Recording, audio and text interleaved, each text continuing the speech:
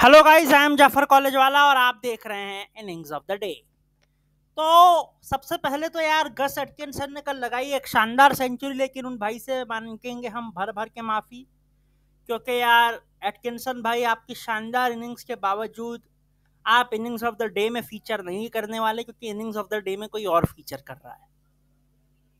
जी नहीं innings of the day में मैं रमारियो शेफवर्ड को भी नहीं डालने वाला, क्योंकि उन्होंने सीपीएल में बहुत प्यारी पारी खेली थी उसके बावजूद। मगर इनिंग्स ऑफ़ द डे के हमारे आज की जो कंटेंडर है, जिन्हें फीचर किया जा रहा है, वो है कमिंदु मेंडिस। देखिए साहब, सबसे पहले तो श्रीलंका वालों, इस बंदे को सात नंबर से छोड़ो और ओपनर बनाओ। क्योंकि वैसे भी तो आपकी बैटिंग का जो कोर है, जो आपकी टीम के अंदर रोहित, राहुल और कोहली है, वो तो मुझे ऐसा लगता है कि यही तीनों है, मिलिंद रत्ना के, प्रभात जयसूर्या और कमिंदू मेंडिस जो भी बैटिंग करनी है, वो इन्होंने ही करनी है। बाकी चांदीमल, मैथ्यूज, मेंडिस, ये सब तो क्या, एक दूसरे की शक्ल देखेंगे और क्या? चलिए, मेंडिस तो फिर भी इंजर्ड होकर बाहर बैठ गए। अब कल भी देखिए 118 पे सात हो गई थी श्रीलंका। उससे पहले मिलिंद रत्ना आके ने 19 सॉरी 10 बॉल में 19 रन की एक शानदार पारी खेली।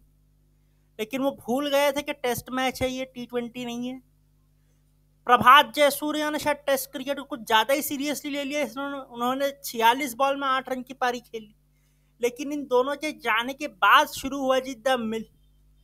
कमिंदू मंडी शो, जिसके अंदर उन्होंने चौहत्तर बॉल के अंदर 120 रन बनाए, आठ चौके लगाए और तीन शानदार वाले छक्के लगाए, जिसमें से एक छक्के से खिड़की का काश तोड़ा, वो भी एमसीसी के ऑफ़िस की। अब ये समझ में आया है कि उस रूल के बाद एमसीसी वाले क्रिकेट के अंदर जो रूल्स के साथ छेड़छाड़ करते रहते हैं, वो अब ये नया रूल बनाने वाले हैं कि कभी भी लॉर्ड्स में मैच होगा और कोई हमारी विंडो तोड़ेगा तो उसे पाँच सौ रुपये हमारे फंड में डालना पड़ेगा। अब ऐसा कुछ रूल उन्होंने बनाया है कि अब वो खिड़की के काश के पैसे लेंगे कमेंडो मंडिस से। एक सिक्स उन्होंने मारा जिसमें बिल्कुल एक स्पेक्टेटर का ऑलमोस्ट सिर्फ़ फोड़ा।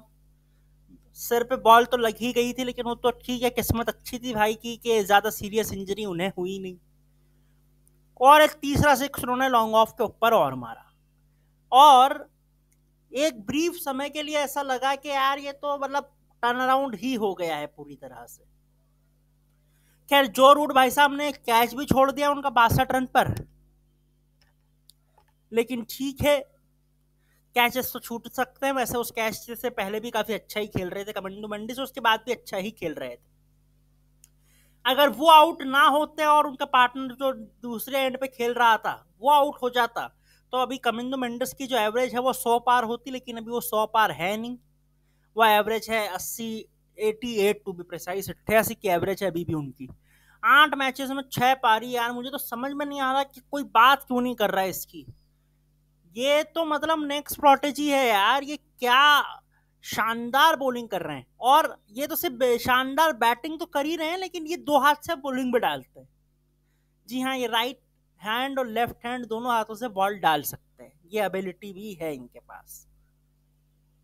लेकिन ठीक है यार, अब यही तो बिग थ्री इफ़ेक्ट है। यही अगर कोई इंग्लैंड का बंदा होता तो अब तक तो बिजडम और द गार्डियन और लंदन के सारे न्यूज़पेपर और न जाने क्या क्या